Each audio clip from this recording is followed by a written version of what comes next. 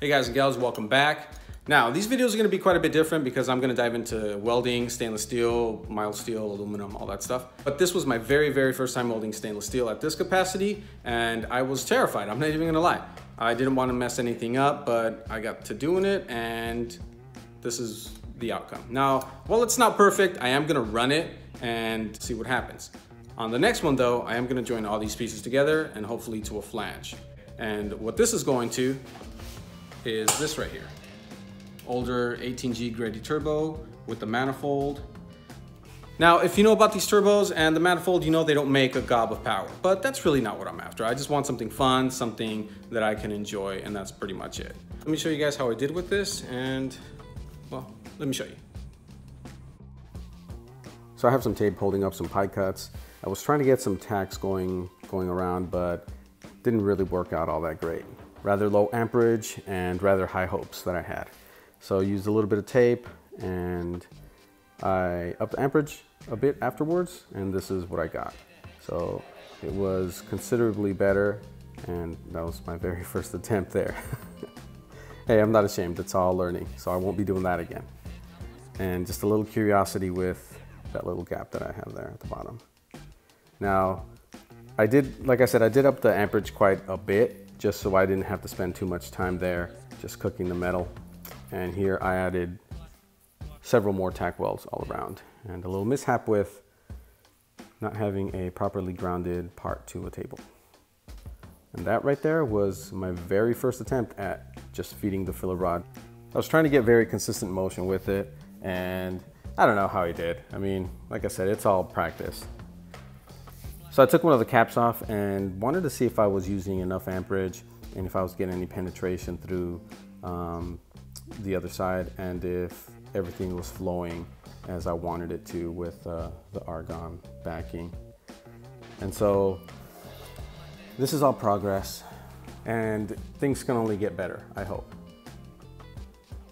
I'm trying to get a uh, more of a consistent motion with feeding the filler rod and just trying to move along uh, around the piece not welding just one side and trying to move around, trying to get other areas welded up so they don't, like so, so it doesn't shift and you know, just try to get some type of consistency going and just not stay in too long and you know, cook all the metal. So this process was probably several days because I'm in Arizona and it was really hot in the garage, just trying to get everything welded up, just putting under the helmet and all that stuff. But hey, in video format, it's only what, several minutes? As far as the stuff that I'm using, Weldmonger TIG gloves are right here. Really good gloves, I recommend those to everyone.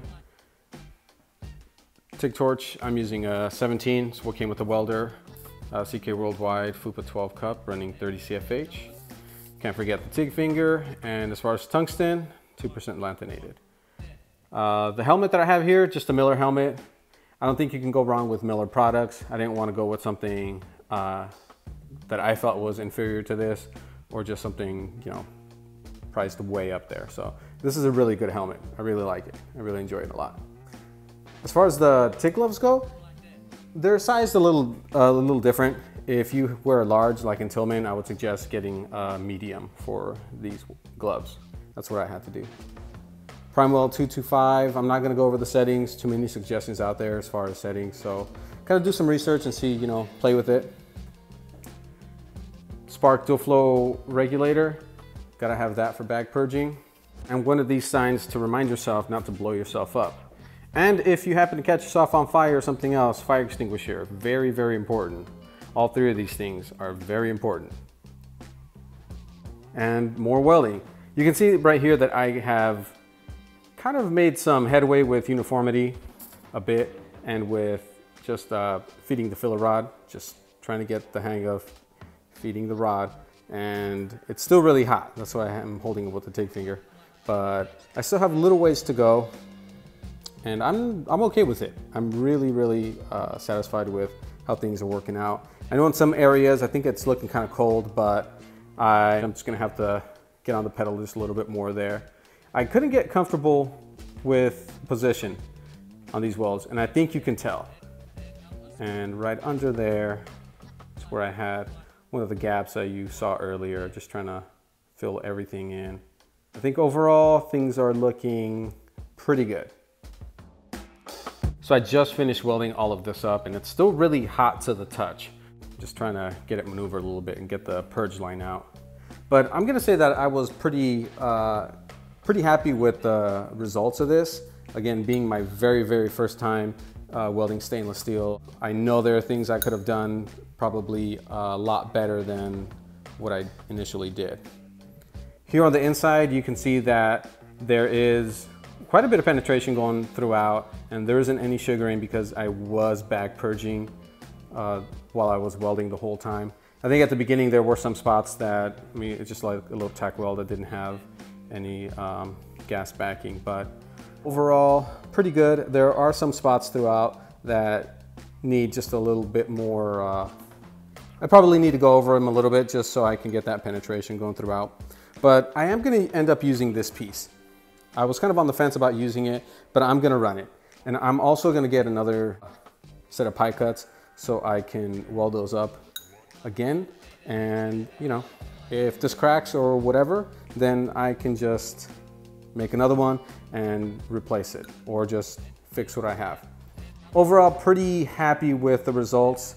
And like I said, my very, very first time welding stainless steel at this capacity. And I gotta say, I am very eager to do it again and definitely share it with you guys with some actual footage of me welding this. If you guys are doing this for your first time as well, I would say just go for it.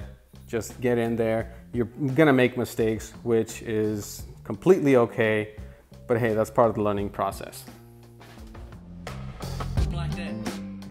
The reason for the flattened pie cut at the bottom is because this flange has a mounting hole that is far too close to the actual tube. So to remedy that, I flattened it out a little bit. Hopefully that works. I didn't want to go with something smaller in diameter. I wanted it to be two and a half all throughout. So I did have to flatten that a bit. We'll see how it works out. All right, so that's gonna do it for this video. On the next one, I'm gonna finish welding this right here or continue welding this and hopefully to a flange, build a purge block for it as well, and dive into the intercooler and the charge pipes. All right guys, so until next time. Hey, if you haven't subscribed, turbo content, who doesn't like it? Comment, like, let me know what you think about this. All right, until next time.